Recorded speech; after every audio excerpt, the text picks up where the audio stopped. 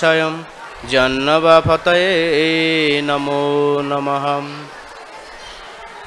নীলাচল নিত্য নিবাসয় পরমাত্মনে জগন্নাথায় বলদেব সুভদ্রায় তে নমো নম। বন্দ্যাহম শ্রীগুরু শ্রীযুতপদ কমলম শ্রীগুরনবৈষ্ণবাম চ শ্রীরূপম সাগ্রজাতম। सहगणरघुनावितं तं सजीवं साद्वैतं सबुदुतं परिजनसहितं कृष्णचैतन्यदेवं श्रीराधाकृष्णपादं सहगण ललिता श्रीविशाखान्वितं च हे कृष्ण करुणा सिंधु दीनाबंधु जगतपथे गोपीश गोपिका कांत राधाकांत नमस्ते ताप्त कांचन गौरांगी राधे वृंदावनेश्वरी वृषभानुसुते देवी प्रणमामि च हरे प्रिय जय श्री कृष्ण चैतन्य प्रभु नित्वानंद श्री আদৈত গদাধর শ্রীবাসদি গৌর সবাই বলুন, হরে কৃষ্ণ হরে কৃষ্ণ কৃষ্ণ কৃষ্ণ, হরে হরে হরে রাম হরে রাম রাম রাম আমার সঙ্গে সঙ্গে আপনারা বলার চেষ্টা করুন, আমি যেটা বলছি। ওং নমো ভগবতে বাসুদেবায়। সবাই বলুন ওং নমো ভগবতে বাসুদেবায়। ওং নমো ভগবতে বাসুদেবায়।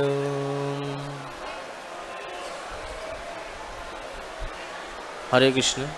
তমাদিদেবাম করুণানিধানম।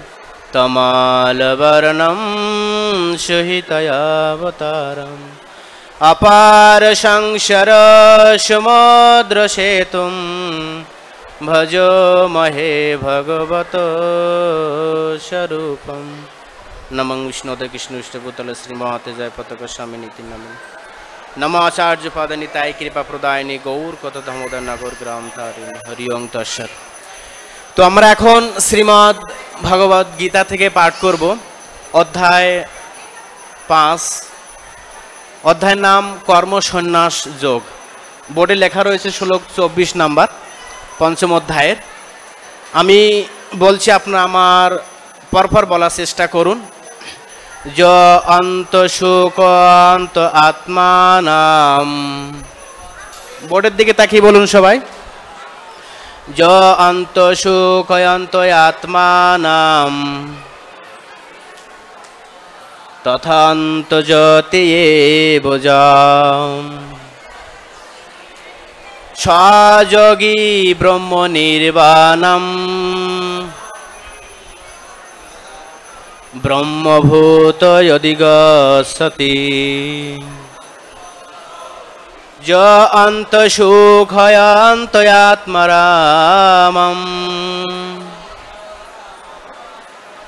তথান্ত জ্যোতি বোজাম স্বযোগী ব্রহ্ম নির্বাণম ব্রহ্মভূত গতি আপনারা কেউ বলার চেষ্টা করুন, শ্লোকটা বসে। যদি কেউ বলতে চান, বলতে পারেন।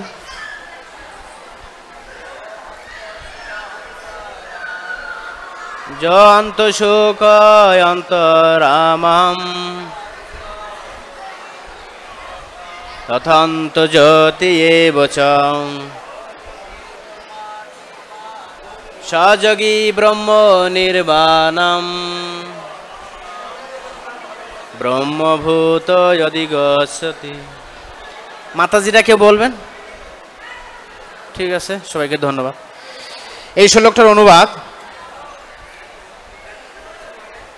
প্রথম শব্দার্থ এই শ্লোকের, য, যিনি, অন্তসুখা, অন্তরে সুখী অন্ত রামামা আত্মাতেই ক্রিয়াশীল, তথা এবং অন্তজ্যোতি অন্তবর্তী আত্মাই যাহার লক্ষ্য এব নিশ্চিত রূপে, য যিনি স তিনি, যোগী যোগী, নির্বাপনাম ব্রহ্ম নির্বাণ ব্রহ্মভূত, ব্রহ্মে অবস্থিত হয়ে অধিগসতি লাভ করেন। এই শ্লোকে প্রভাত একটা গীতার গান এ করেছেন আর একটু অনুবাদ এবং লাস্টে তাৎপর্য। প্রথম গান, বাহিরে সুখ ছাড়ি যে ভাই অন্তমুখ অন্তরে রমন করে অন্তজ্যোতি রূপম। ব্রহ্মভূত হয় সেই ব্রহ্মেতে নির্বাণ। বহিরঙ্গা মায়া ছাড়ে পায়ে ভগবান। যিনি আত্মাতেই সুখ অনুভব করেন, যিনি আত্মাতেই ক্রীড়াযুক্ত এবং আত্মাই যাহার লক্ষ্য, তিনি যোগী। তিনি ব্রহ্মে অবস্থিত হয়ে ব্রহ্ম নির্মাণ লাভ করেন। এই শ্লোকের তাৎপর্য আত্মায় যে সুখ আস্বাদন করেনি, সে অনিত্য সুখভোগের বাহ্য ক্রিয়াগুলি কীভাবে পরিত্যাগ করবে? জীব উন্মুক্ত পুরুষ যথার্থ অনুভূতিতে সুখ আস্বাদন করেন। তাই তিনি এক জায়গায় স্থির হয়ে বসে চিন্ময় চেতনার সাহায্যে জীবনের ক্রিয়াগুলিকে উপভোগ করতে পারেন। এই ধরনের মুক্ত পুরুষ কখনই বাহ্য বাহ্য জাগতিক সুখের আকাঙ্ক্ষা করেন না। এই অবস্থাকে ব্রহ্মভূত বলে, তখন ভগবত ধামে ফিরে যাওয়া সুনিশ্চিত হয়। হরে কৃষ্ণ। তো এই শ্লোকে স্বয়ং ভগবান শ্রীকৃষ্ণ অর্জুনকে উদ্দেশ্য করে এই জলজগতের জীবকে শিক্ষা দিচ্ছেন যে কীভাবে এই জলজগতে থাকার পরেও আমরা এই জলজগতের ইন্দ্র সুখকে নিবৃত্তি করে, চিরতরে এই জলজগৎ পরিত্যাগ করে আমরা ভগবানের কাছে ফিরে যেতে পারি ভগবান শ্রীকৃষ্ণ এখানে বলছেন অর্জুন, যারা আত্মাতেই তুষ্ট, আত্মাতেই সুখ অনুভব করেন বা আত্মার প্রতি দ্বারা দৃষ্টি নিক্ষেপ করেন, আর যারা মৌনব্রত অবলম্বন করেন, মৌনব্রত শব্দের অর্থ কৃষ্ণ কথাই বলেন, কিন্তু জাগতিক কথা বলেন না। যেমন আমরা সারাদিন ভগবানের কয়েকটা কথা বলে দিনাতিপাত করছি আর বাইরের জগতের কথা বলে আমরা সময় নষ্ট করছি। এটাই আমাদের দেখার বিষয়। যদি কেউ চব্বিশ ঘণ্টা ভগবান শ্রীকৃষ্ণের নাম জপ করে, যেমন রামাচার্য হরিদাস ঠাকুর, তিন লক্ষ নাম জপ করতেন। সুখদেব গোস্বামী ভগবত পাঠ চব্বিশ ঘণ্টা। এমনকি সাত দিন, সাত রাত্র পর্যন্ত তিনি হরিকথা কীর্তন করে পরীক্ষিত মহারাজকে শ্রবণ করিয়েছিলেন। এখানে ভগবান বক্তা হিসাবে অর্জুনকে শিক্ষা দিয়েছেন, কীভাবে যোগী শব্দের অর্থ যুক্ত হওয়া। আর এই যুক্তটাকে বলা হয় ভক্তিযোগ। কেননা যতক্ষণ আমরা ভক্তিযোগের মাধ্যমে ভগবানকে সেবা না করছি, ততক্ষণ আমরা এই জড়জগতের কোনো কার্যকলাপ থেকে মুক্ত হতে পারছি না। ভগবান শ্রী চৈতন্য মহাপ্রভু বলছেন, নাচো, গাও, ভক্ত সঙ্গে কর সংকীর্তন। অচিরাত কৃষ্ণ তোমায় করিবেন উদ্ধারণ। তোমরা ভক্ত সঙ্গে নাচো কি গান গায়ে নাচো? হরে কৃষ্ণ মহামন্ত্র। যে কোনো জাগতিক গান নয়। যে গান আত্মকেন্দ্রিক, যেমন হরে কৃষ্ণ মহামন্ত্র, বৈষ্ণব ভজন ইত্যাদি। এই সমস্ত পরমার্থিক যে গান রয়েছে, এর মাধ্যমে কীর্তন করো ওর নৃত্য করো। এই জন্যে এই যে চৈতন্য মহাপ্রভু যে মার্গটা আমাদের দিয়েছেন, সেটি হলো প্রশস্ত মার্গ। আর এখানে আরেকটি জিনিস যে অন্তঃসুখ দেখবেন যারা অনেক মুনি ঋষি বা যোগী বা ভক্ত রয়েছে, নির্জন স্থান তারা পছন্দ করেন। কেন? তারা সেখানে ভগবান শ্রীকৃষ্ণের নামে কীর্তন করে এক অন্তরে একটা আত্মকেন্দ্রিক মানে অন্তঃসুখ অনুভব করেন। নিজেই। আমরা যেমন একা কোনো সুখ প্রাপ্ত হতে পারি না, কিন্তু কোনো ভগবত ভক্ত, সে এক জায়গায় বসে বারো ঘণ্টা হোক, কি চব্বিশ ঘণ্টা হোক, কি ছয় ঘণ্টা হোক হরে কৃষ্ণ মহামন্ত্র জপ করে এক নিত্য সুখ অনুভব করেন। এটা কি বলা হয় আত্মারমন এখানে আত্মারামাম বলা হয়েছে, অর্থাৎ নিজেই সন্তুষ্ট। এখানে তাকে কেউ সন্তুষ্ট করতে পারে না, কেননা সে আত্মাকে কি করেছেন? ভগবানের স্মরণে পরমাত্মার সেবায় নিযুক্ত করেছেন। যেমন মুনি ঋষিরা এক স্থানে বসে হাজার হাজার বছর ধরে তারা জপ করতেন বা তপস্যা করতেন। এটা কি করে সম্ভব? বলছে শাস্ত্রে, যখন কোনো ব্যক্তি সমস্ত ইন্দ্রিয়ের যে জাগতিক কার্যকলাপ রয়েছে, যেমন আমাদের যে পাঁচ কর্মেন্দ্র রয়েছে, পাঁচ জ্ঞানেন্দ্র রয়েছে, এইগুলিকে বশ করার একটা বিশেষ পন্থা ভাগবতে দেওয়া হয়েছে। অম্বরীশ মহারাজের শিক্ষা আমরা পাই, আমরা চোখ দিয়ে কী করি? ভগবান শ্রীকৃষ্ণকে দর্শন করে আমাদের দৃষ্টি শুদ্ধি করতে পারি। কান দিয়ে কৃষ্ণ কথা শ্রবণ করে আমরা জাগতিক যে শ্রবণ শক্তি, সেটা বন্ধ করে পরমার্থিক শ্রবণ আকর্ষণ বৃদ্ধি করতে পারি। আর জিহ্বা দিয়ে জাগতিক খাদ্য না খেয়ে, জাগতিক শব্দের অর্থ ভগবানকে নিবেদন করে যে প্রসাদ হয় না যেটা, সেটা খাওয়া উচিত নয়। অর্থাৎ ভগবানকে নিবেদন করে সেটা আমাদের প্রসাদ হিসেবে গ্রহণ করে জিব্বাটাকে জয় করা উচিত। এইভাবে আমাদের যে ইন্দ্রগুলি রয়েছে আমরা হাত দিয়ে কি করা যায়? ভগবানের মন্দির মার্জন করো, ভগবানের শৃঙ্গার করো, এবং কৃষ্ণ উদ্দেশ্যে কোনো কর্ম করো। আর আমরা এই যে পাটা কিসের কাজে ব্যবহার করতে পারি? ভগবান শ্রীকৃষ্ণের ধামে যাওয়ার কাজে, মন্দির পরিক্রমার কাজে, এবং সৎসঙ্গ লাভ করার জন্যে সেই স্থানে যাওয়ার সাহায্য নিয়ে তে পারি। এইভাবে আমাদের ইন্দ্রগুলি যখন আমরা কৃষ্ণ সেবায় নিযুক্ত করব, তখন আমরা অন্তমুখী হব। অর্থাৎ ইন্দ্রগুলি আর বাইরের দিকে ধাবিত হবে না। ভগবান শ্রীকৃষ্ণ স্বয়ং উদ্ধাব বনসকে বলছেন হ্যাঁ নৈষ্কর্মানাম অপি অশ্রুত ভাব শোভনম। নৈষ্কর্ম বলছে আমরা যে কর্ম করব, যদি এই কর্মটা যদি ভগবানকে অর্পিত ন- করি হ্যাঁ তাহলে কি হবে? আমাদের এই কর্মটা শুভ হবে না। নো চা অর্পিতম কর্ম যদপি কারণম। আর ন শোভতে জ্ঞান অমলম নিরঞ্জনম। অনেক ব্যক্তির জ্ঞান রয়েছে, অনেক ব্যক্তির বহু কিছু কোয়ালিটি রয়েছে এই জগতে। কিন্তু যদি সে অচ্যুত মানে ভগবান শ্রীকৃষ্ণের যদি অর্পণ না করে, কর্ম করা হয়, তাহলে এই জগতে কোনো শোভা হয় না। তা যা কিছু আমরা করব সেটা ভগবানকে নিবেদন করে।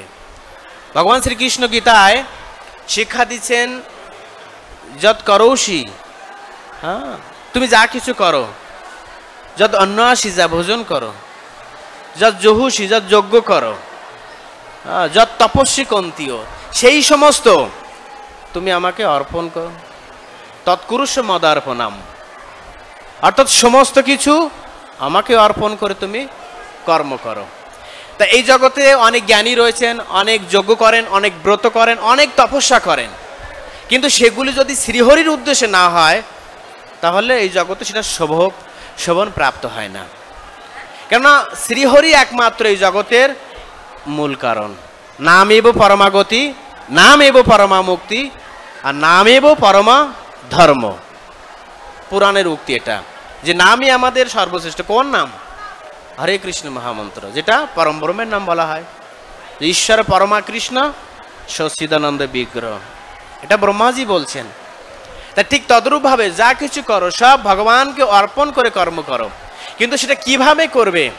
তসমাৎ শাস্ত্রাম প্রমাণান্তে।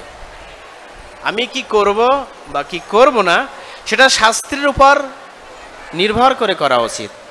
শাস্ত্রে যে কর্ম বলা হয়েছে, সেটা করা উচিত। আর যেটা বর্জন করা হয়েছে, সেটা করা উচিত নয়। যেমন এই কলিযুগে বিশেষভাবে পাঁচটি জিনিস নিষিদ্ধ? অশ্বমের যোগ্য, গৌমের যোগ্য দেবোদ্বারা বাচ্চা উৎপাদন, তীর্থশ্রাদ্ধে মাছ, মাংস এবং সন্ন্যাস। এখন সেগুলি যদি আমরা করি, তাহলে শাস্ত্রের বিরুদ্ধ হয়ে গেল। এর জন্য আমাদের নরক যন্ত্রণা ভোগ করতে হবে। এই জন্য তসমাৎ শাস্ত্রাম প্রমাণান্তে কার্য আকার্য ব্যবস্থিতি।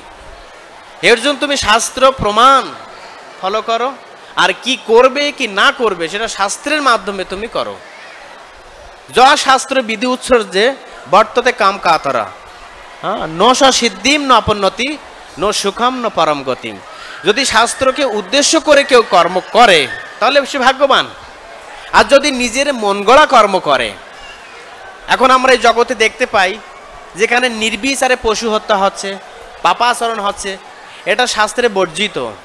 কিন্তু শাস্ত্রের উদ্দেশ্য যদি লক্ষ্য করে, শাস্ত্রের নামে যদি হ্যাঁ বলে যে শাস্ত্রে এটা লেখা রয়েছে এটা আমাদের করলে পাপ নেই। পূর্বপুরুষরা করে আসছে।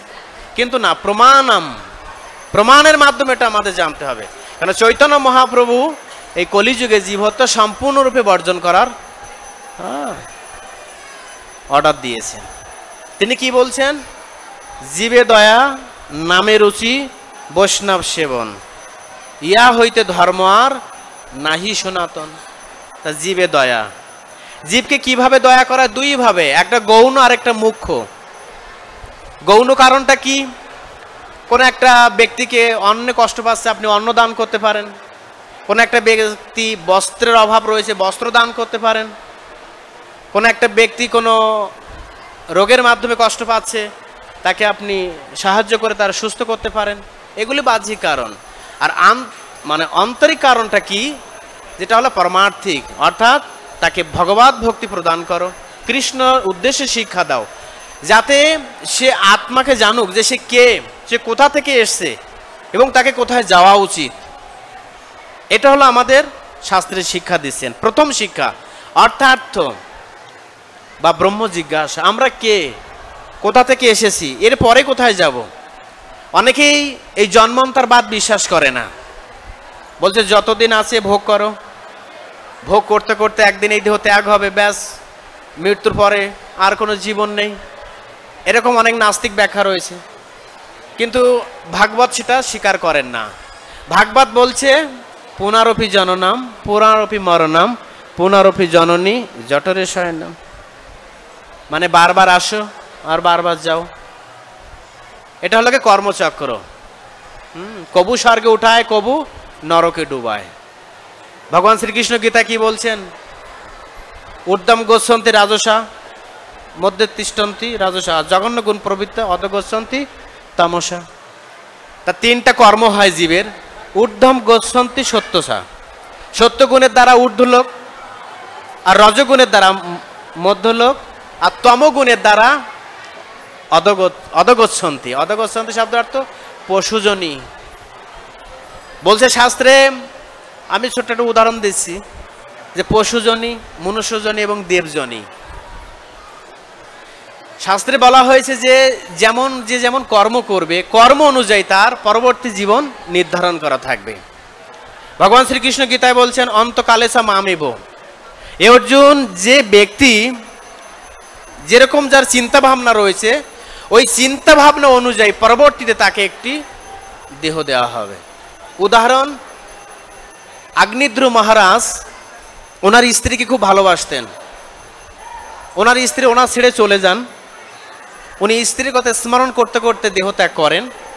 পরজন্মে গিয়ে অস্পরা হয়ে জন্মগ্রহণ করে। আচ্ছা ওটা তো রাজাদের কাহিনী। ভক্ত জগতে আসুন জড়ভারত মহারাজ। একটা হরিণ শাবক, বাচ্চার পা সবাই জানি আমরা ঘটনা। স্মরণ করতে করতে তিনি দেহ ত্যাগ করেন।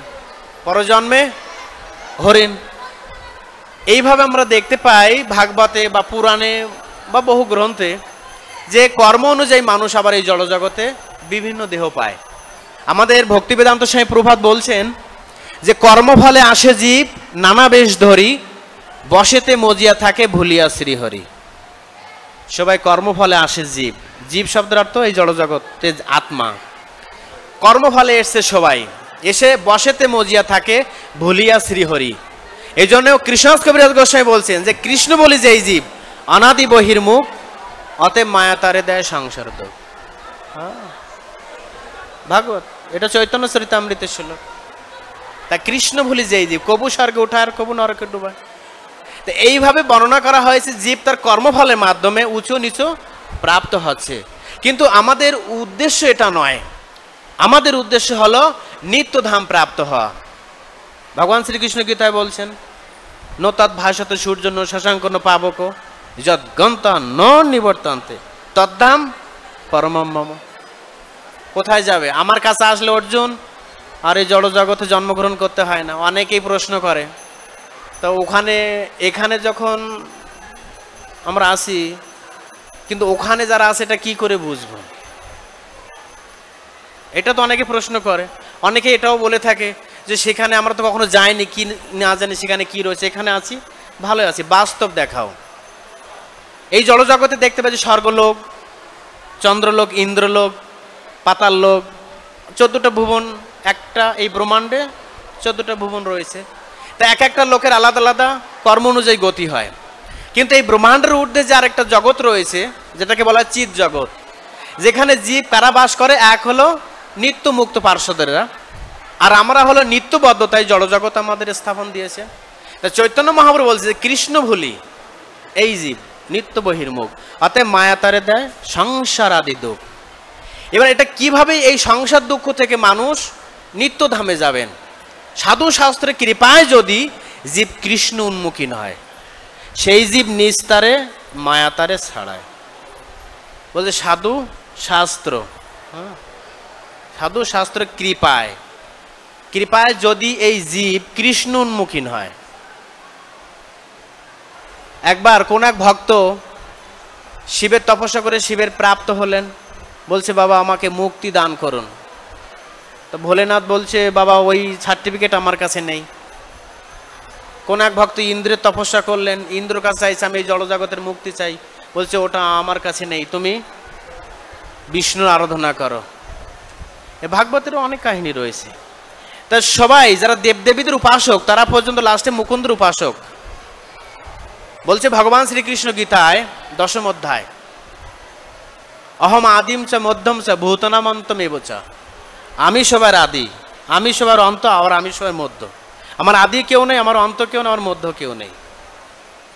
অর্থাৎ তিনি আনাদির আদি। হুম। ভগবান শ্রীকৃষ্ণ বলছেন যে, নহি, এ অর্জুন এই জগতে আমাকে না দেবতারা, না কোনো মুনি ঋষি জানতে পারে না। অহম আদি দেবানাম, মহর্ষি নামসা সর্বস্ব। আমি দেবতাদেরও আদি মুনি ঋষিদেরও আদি। এটা গীতার শ্লোক। তা যাই হোক, এখানে ভগবান শ্রীকৃষ্ণ অর্জুনকে যে উপদেশটা দিয়েছেন যে, অন্তঃসুখ অন্তঃসুখ প্রাপ্ত হতে গেলে একমাত্র ভগবানের আরাধনা করা উচিত। আরে বাহ্যিক যে সুখ, এটা হলো ভগবান শ্রীকৃষ্ণ বলছেন, প্রথম হলো এই জড়জগতে যে সুখটা, আমাদের কাছে এখন অমৃতের সমান মনে হচ্ছে, আর পরিমাণে সেটা বিষ। আর আপনারা দেখছেন এই সাধু জগতে, এ তো সারা জীবন ব্রহ্মচারী, সন্ন্যাসী, না সংসারের কোনো কিছুই ভোগ করল, এত নির্বাণ মুক্তি। এ বেচারি তো দেখেই তো মনে হয় না সুখ পাচ্ছে, কিন্তু না।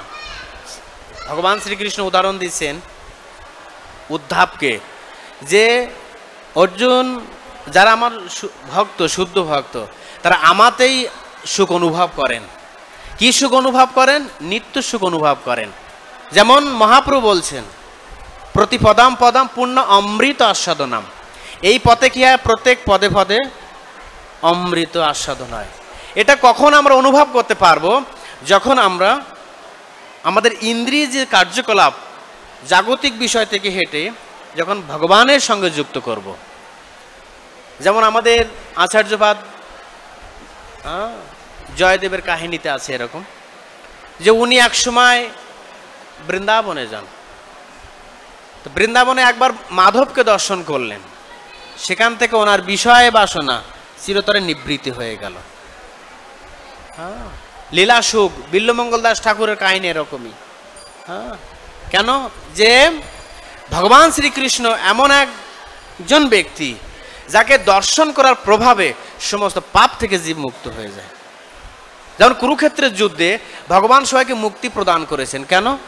বলছে এই কারণের জন্যে যে ভগবানের দৃষ্টিটা শুভ। ভগবান শ্রীকৃষ্ণ বলছেন যে আমি মূর্খ, আমি তো বিজ্ঞ না, এ জীব মূর্খ। তা আমি বিজ্ঞ এই মূর্খের বিষয় কেন দিব? স্বস্বর্ণামৃত দিয়ে বিষয় যাইব। যে যা পারে আমার কাছে আসুক, কিন্তু আমার সামনে একবার যদি কেউ আসে, যেমন এখন রথযাত্রা হচ্ছে, পুরাণের উক্তি, যদি জগন্নাথ দেবকে একবার কেউ রথের দড়ি আকর্ষণ করেন, টানেন, জগন্নাথ দেবকে যদি এক কেউ রথে একবার কেউ দর্শন করে, জগন্নাথের সামনে যদি কেউ একবার নৃত্য করে, জগন্নাথের গুণাবলী কেউ কীর্তন করে, বলছি উভয়ে ভগবদ্ধাম প্রাপ্তি। এত সহজ মুক্তি জগন্নাথ দিয়ে দিলেন। আর জগন্নাথের আরেকটা দৃষ্টি হলো কটাক্ষ দৃষ্টি। কটাক্ষ দৃষ্টি মানে যে চোখে কোনো পলক সৃষ্টি নেই। যেমন আমাদের চোখে সেকেন্ডে হোক দু সেকেন্ড পর হোক একটা করে পলক পড়ে, কিন্তু জগন্নাথের চোখে আয়োজ পর্যন্ত পলক পড়ে না। কটাক্ষ দৃষ্টি, সবসময় বড় বড় করে চেয়ে আছে। এটা কিসের জন্য চেয়ে আছে? ভক্তদের দেখার জন্যে? না নিজেই ভয় দেখাচ্ছে? না। বলছে, ভক্তরা তো আমাকে দর্শন করে, কিন্তু আমি তার চাইতে আরও তীব্রভাবে ভক্তদের দর্শন করে পাপটাকে হরণ করে নি এই জন্য ভগবানের দর্শন শক্তি যখন আমাদের উপর পড়বে উদাচার্য নামে একজন ব্যক্তি ছিলেন, বাড়ি বেশি দূরে নয়, নেপাল। তো উনি একবার পুরাণ পড়ছেন। পড়তে পড়তে ওখানে উনি দেখে যে জগন্নাথ পুরীতে যদি কেউ একবার প্রবেশ করে জগন্নাথ দেবকে একবার কেউ দর্শন করে জগন্নাথ দেবের প্রসাদকে একবার ভোজন করে। হ্যাঁ তো সে আর জগন্নাথ পুরী থেকে বেরিয়ে আসে না, জগন্নাথ তাকে জগন্নাথের ধামে নিয়ে যায়। উনি ওই শ্লোকটা বারবার রিসার্চ করছেন, পড়ছেন। উনি তখন মনে একবার বাসনা হলো, তাহলে তো আমার পুরী জগন্নাথ ধামে যাওয়া উচিত। কেন জগন্নাথ এত কৃপাময় যে একবার দর্শন করলে নাকি উনি মুক্তি প্রদান করেন। এইভাবে উনি নেপাল থেকে পদব্রজে তৎকালে সবাই প্রায় হেঁটেই চলতেন। বৃন্দাবন যেতে এক মাস লাগতো আগে। এখন তো আমরা প্লেনে গেলে সাড়ে চার ঘণ্টা, আর এমনি স্বাভাবিকভাবে ট্রেনে গেলে আঠারো ঘণ্টা, কুড়ি ঘণ্টা পৌঁছে যাই। আর তখন এক মাস, দেড় মাস, দু মাস লেগে যেত বৃন্দাবন হেঁটে। তা ঠিক উদাচার্য নেপাল থেকে হাঁটা শুরু করলেন। নদীগুলি নৌকায় পার হতেন। হাঁটতে হাঁটতে যখন আঠারো নালা, আপনারা এখানে পুরীতে গেছেন কারা কারা? হাত উঁচু করুন দেখ। পুরী ধাম যাক, আপনাদের জন্য একটা গিফট ভগবান রেখেছে। আর যারা যাননি চেষ্টা করবেন যাওয়ার। তো ওই সময় উনি পুরীধামে প্রবেশ করার আগে আঠারো নালা দেখে সবাই নাম শুনেছেন। আঠারো নালা। ওখানে গিয়ে উনি দেখে, এই যে পুরীর জগন্নাথ রথযাত্রা আজ হলো। জগন্নাথের রথে দড়ি টেনে সবাই জয় জগন্নাথ বলতে বলতে আপন আপন গিরিয়ে যাচ্ছে। আর সবাই প্রসাদ নিয়ে, জগন্নাথের প্রসাদ, খাজা প্রসাদ ইত্যাদি গোজা। তো জগন্নাথ দেবের রথকে দর্শন করে সবাই ফিরে আসছে, তো ওনার মনে একটা সন্দেহ হলো। ওনার আবার গ্রন্থটা হাতে করে আছে বগলটা নিয়ে রেখেছে। উনি গ্রন্থটা খুলে দেখছে, কি ব্যাপার? এখানে তো লেখা রয়েছে যে একবার জগন্নাথকে দর্শন করে সে ফিরে আসে না, যে একবার জগন্নাথের হ্যাঁ প্রসাদ ভোজন করে সেও ফিরে আসে না। জগন্নাথ মন্দিরের সীমানায় যে একবার প্রবেশ করে, তো সেও ফিরে আসে না। তো এরা সব বেরিয়ে আসছে কি করে? স্বাভাবিক এটা না? বলছে শাস্ত্রে একটা, আর হয়ে যাচ্ছে আরেকটা, সন্দেহ তো স্বাভাবিক হয়। তো ওই সময় ওনার মনে বলছে, তাহলে আমি আর যাব। আমাকে আমাকে ফিরে আসতে হবে, আমি আর এখানে না যাই, ভালো। আমি এখান থেকে রিটার্ন চলে যাব নেপালে। শাস্ত্রে হয়তো মিথ্যা বলেছে। আর জগন্নাথের কানে এটা পৌঁছে গেছে যে উদয়াচার্যের মনে সন্দেহ হয়েছে, এ সন্দেহটা আমাকে নিবৃত্তি করতে হবে। কেননা ভক্ত বলছে না, ভগবান হ্যাঁ আমি ভক্তের হৃদয়ে থাকে আর ভক্ত আমার হৃদয়ে থাকে। কারণ অন্তর্জামী তিনি প্রত্যেকটা জীবের অন্তরের ভিতরে তিনি প্রবেশ করে আছেন। হৃদয়স্য অর্জুন তিষ্ঠতি আমি হৃদয়ের ভিতরেই আছি বাইরে তো আছে ভিতরে বসে আছে। তো যেহেতু উনি অন্তর্জামী আর ভগবানের শুদ্ধ ভক্ত ভগবান বুঝতে পেরেছেন যে উদাচার্য মানে সন্দেহ হয়েছে এই সন্দেহটাকে তো ওনাকে পরিত্যাগ করা উচিত। তো ভগবান স্বাভাবিকভাবে একটা ব্রাহ্মণের রূপ ধারণ করে হ্যাঁ, ওনার সামনে হাজির হয়েছে। তো বলছে, কি ব্যাপার ব্রাহ্মণ জি? উনিও ব্রাহ্মণ উদয়াচার্য ব্রাহ্মণ, ভগবানও ব্রাহ্মণ রূপে এসছেন, দুই ব্রাহ্মণের বার্তালাপ। তো বলছে, ব্রাহ্মণ, তোমাকে দেখে মনে হচ্ছে খুব চিন্তিত। হ্যাঁ দেখবেন এই জড়জগতে কোনো মুখের দিকে তাকান কারোর। দুঃখে থাকে, বোঝা যায়, হাসলেও বোঝা যায় কারণ মুখটা হলো আমাদের দর্পণ, আয়না। এটা দেখে বোঝা যায় কে কতটুকু কি। আর কিছু কিছু ব্যক্তি আছে, দেখলেই বুঝতে পারে কতটুকু শিক্ষিত, কতটুকু গুণী, কতটুকু জ্ঞানী, কতটুকু বিচক্ষণ ইত্যাদি। এটা তাদের ভিতর থেকেই অন্তর্দৃষ্টির মাধ্যমে জানতে পারেন। তো ভগবান বুঝতে পারলেন যে উদাচার্যের মুখের যে মলিন ভাব দেখে যে নিশ্চয়ই কোনো একটা কিছু ঘটেছে। তো বলছে, কি ব্যাপার ব্রাহ্মণজি? তো বলছে, এই তো দেখো, আমি সেই পুরাণটা আমার সঙ্গে নিয়ে এসেছি, এখানে তো এই লেখা রয়েছে।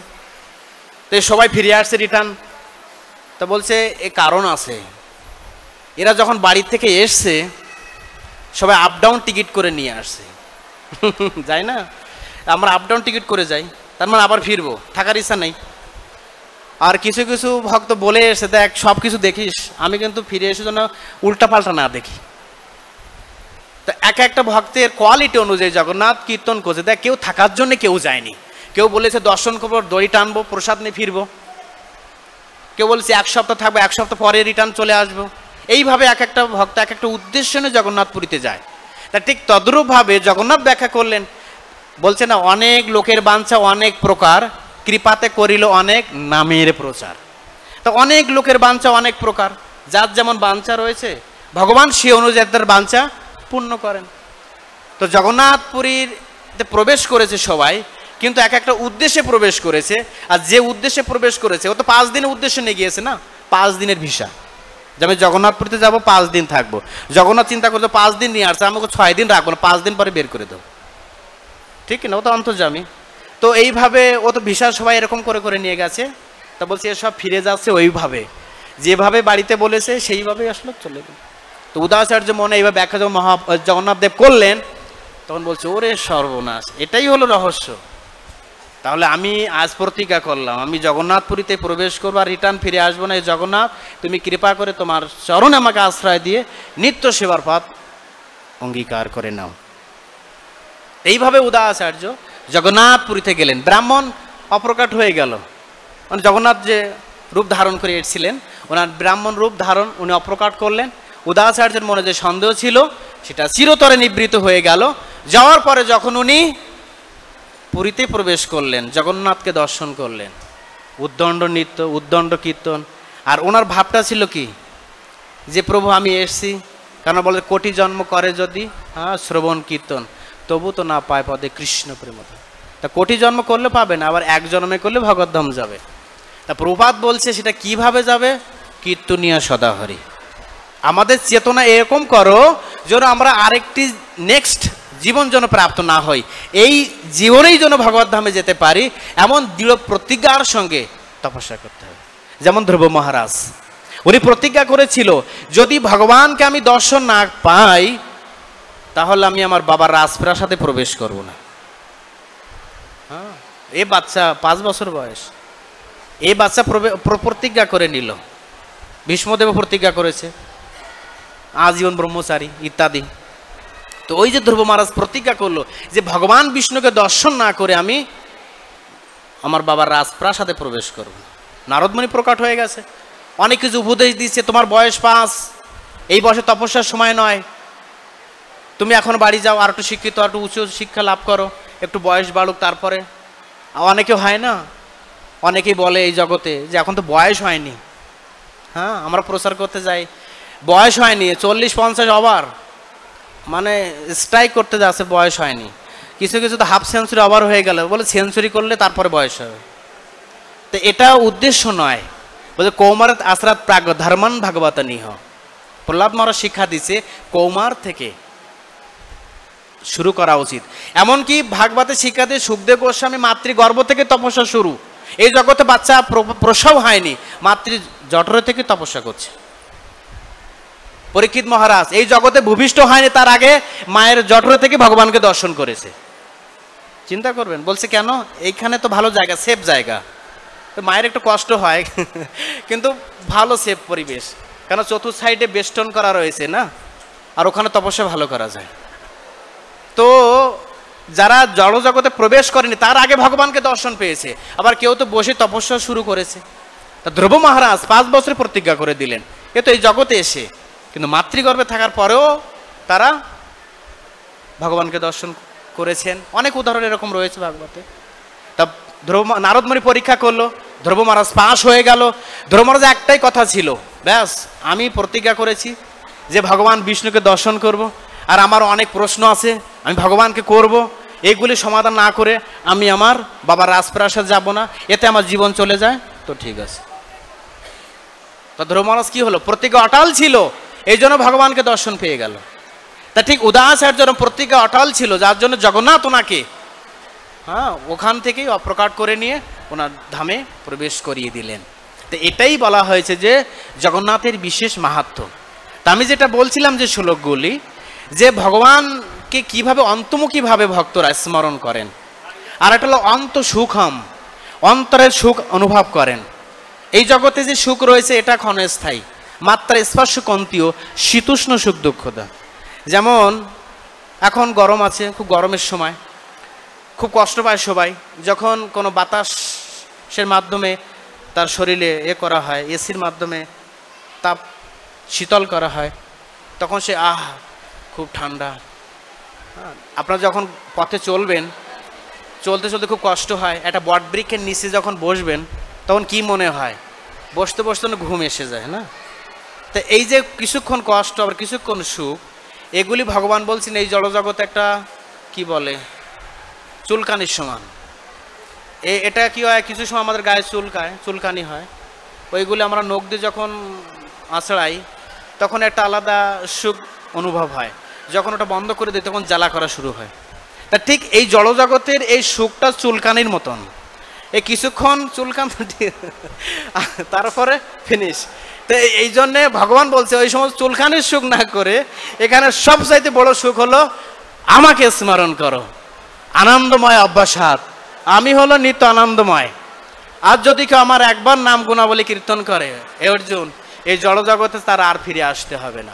এই জন্য বলা হয়েছে যে এই চারি বর্ণাশ্রমে যদি কৃষ্ণের নাহি ভজে হ্যাঁ সকর্ম করিলে সে সোজা ন- রৌ বাড়ে গিয়ে মজে। চারটি বর্ণ আর চারটি আশ্রম। এটা কে সৃষ্টি করেছে? ভগবান। চাত- চাতুর্বর্ণ মায়ং সৃষ্টাং গুণ কর্ম বিভাগস এ তো ভগবান সৃষ্টি করেছে। তারপরে ভগবান কৃষ্ণ উদ্ধবকে বলছেন, জয় এসাম সাক্ষাৎ, আত্মপ্রভম ঈশ্বরম। নো ভজন্তি অবজানাতি স্বস্থানা পতন্তি অধ। যদি এই চার বর্ণাশ্রম ব্যক্তিরা যদি ভগবানকে ভজন না করে, আমি ব্রাহ্মণ, ওরে সর্বনাশ, আমি ক্ষত্রিয়, আমি বৈশ্য, কেউ বলে না, আমরা ব্রাহ্মণ, ও তো টাচ করি না। টাচ করে না, এদিকে আরেকটা কি বলে ডেড বডি খাচ্ছে না? ডেড বডি টাচ করা যায়, কিন্তু আর কাউকে টাচ করা যায় না। তো এই যে আপন আপন যে জাত বংশতে অহংকারে মত্ত থাকে থাকে কি না? আমি ব্রাহ্মণ, আমি ক্ষত্রিয়, আমি বৈশ্য, আমি শূদ্র, আমি ব্রহ্মচারী, আমি গৃহস্থ, আমি বানপ্রস্থ, আমি সন্ন্যাসী। তো মহা ভগবান কৃষ্ণ কি বলছেন? যদি এই চার বর্ণাশ্রম যদি কৃষ্ণকে বদনা না করে, আপন আপন বর্ণে জন্মগ্রহণ করে, আপন আপন আশ্রমে জন্মগ্রহণ করার পরে যদি অহংকারে মত থাকে স্বয়স্থানা পতন্তি অধ বলছে, ওর পতন হয়ে গেছে। কেন? যদিও কৃষ্ণকে ভজনা না করে। এই জন্য ভগবান শ্রীকৃষ্ণ চরম উদাহরণ এটা। সব কৃষ্ণ থেকে এসছে। একলা ঈশ্বর কৃষ্ণ আশা ভিড়ত যারে জৈসে নাচা সে তৈসে করে নিত্য। ব্রহ্মালোক থেকে শুরু করে পাতাল্লোক পর্যন্ত। এ তো কৃষ্ণের ঈশ্বর শক্তিতে চলছে। এমনকি জড়জগৎ থেকে চিৎজগৎ পর্যন্ত সব তার অধীনে চলছে। এইভাবে ভগবান শ্রীকৃষ্ণ শিক্ষা দিচ্ছেন, আমি ছাড়া জগতে কিছু নেই। অহম সর্বস্ব প্রভাব অহম সর্বস্ব প্রভাব মত্তম সর্বম প্রবর্তন্তে বাবারে ষোলো হ্যাঁ ইতিমত্ত ভজন্তে মাম বুধভাব সমন্বিত জয় ভগবান নৃসিংহদেব ভক্ত প্রহ্লাদ মহারাজ কি জয় তো সব কিছু ভগবান ভগবান ছাড়া জগতে কেউ নেই সব তিনি আর কি বলছেন অর্জুন আমাকে ভজনা করো কীভাবে শততম কীর্তন তমাম যজন্তম চ দৃঢ়ব্রতা সবসময় আমার কীর্তন করো যজন্তী যজন্তী মানে তার শিবা পুজো, যজন যাজন করো। কীর্তন সবসময় কীর্তন করো। আর কি নমস্কুরু প্রণাম করো। আর কি যতক্ষণ পারো, সব ভগবান উদ্দেশ্যে কর্ম করো। কারণ এই জড়জগৎ একটাই উদ্দেশ্য আমাদের। আমরা কিসের জন্য এসেছি? অধপতিতর জন্যে। কারণ ভগবান শ্রীকৃষ্ণ গীতায় বলছেন হ্যাঁ তানহম দিশিত কুড়ান সংসারের নরাধনাম। এ অর্জুন যারা আমার বিদ্বেষী, তাদেরকে আমি বারবার নরকজনিতে নিক্ষেপ করি। আর নিক্ষেপ করে কি, কি- কিসের জন্য নিক্ষেপ করে? বলছে, ওই সমস্ত পাখণ্ডীরা বা পাষণ্ডীরা, পাখণ্ডী শব্দের অর্থ পাপের খণ্ড। বলে না, পাথরের খণ্ড, মিষ্টির খণ্ড ইত্যাদি, তা পাপের খণ্ড, পাখণ্ড। তো ওই সমস্ত পাখণ্ডদের কি করা হয়? কোথায় কোথায় ফেলে দেয় ভগবান? কোথায় ফেলে দেয়? সব মৃত্যু জগতে ফেলে দেয়। আর মৃত্যু জগৎ শব্দের অর্থ এখানে জন্ম আর মৃত্যু দুইটা রয়েছে। তাই বলা হয় এটা হলো মৃত্যুদ্বীপ বা অনেকেই নাম দিয়েছে এটা হ্যাঁ মরণদ্বীপ কারণ এখানে আসলে সবাইকে মরতে হয়। আত্মার মরণ নেই, দেহের মৃত্যু, তাই বলা হয়েছে এটা জড়জগৎ। আত্মা তো কখনো মৃত্যু হয় না, কারণ তো চিন্ময় বস্তু। ও তো আরেকটা একবার ট্রান্সফার হয়ে যাচ্ছে। কীভাবে? যেমন বাসাংশে জিন্নানি যথা বিহায়। যে যেমন পোশাক আমরা পরিধান করার পরে পরিত্যাগ করি, ঠিক আরেকটি নতুন দেহ বা নতুন পোশাক ধারণ করি, আত্মাও তদরূপভাবে এই দেহ পরিত্যাগ করে, আরেকটি নতুন দেহ ধারণ করে। কীভাবে ধারণ করে? ওই যে জমজম বাপি স্মরণম ভাবাম তাজ্য ত্যাজন্তে কলেবরম। যে যেটা স্মরণ করবে, সে পরবর্তীতে তেমন কলেবর পাবে।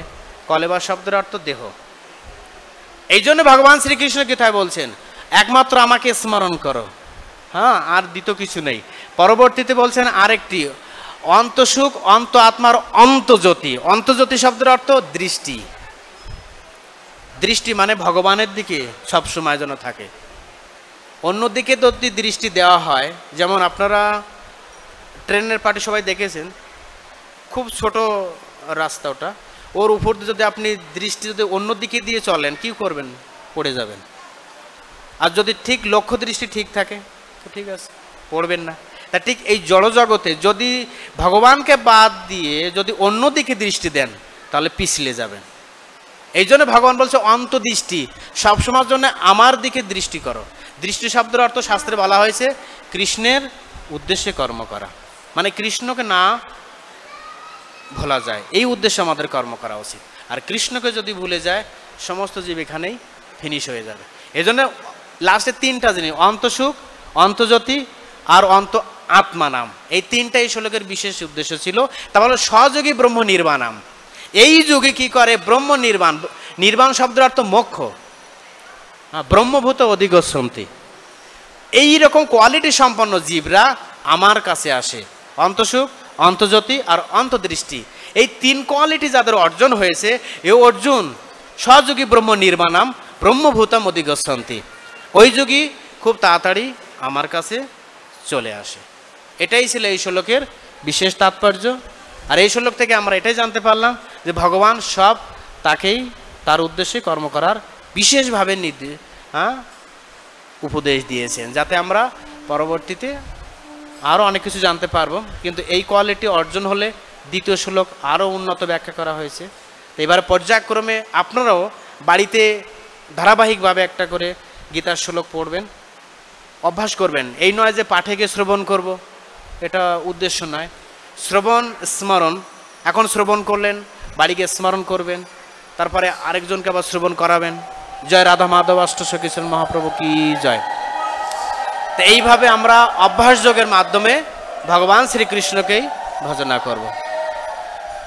জয় সদগুরু বৈষ্ণব, কি জয়। নিতাই গৌর প্রেমানন্দে হরি বল।